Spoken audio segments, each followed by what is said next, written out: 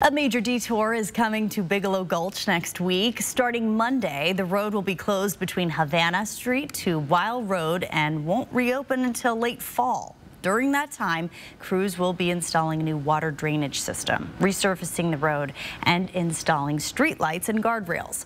A detour will be in place directing drivers toward Mead, until the project is complete. For more information about this project, head to KXLY.com.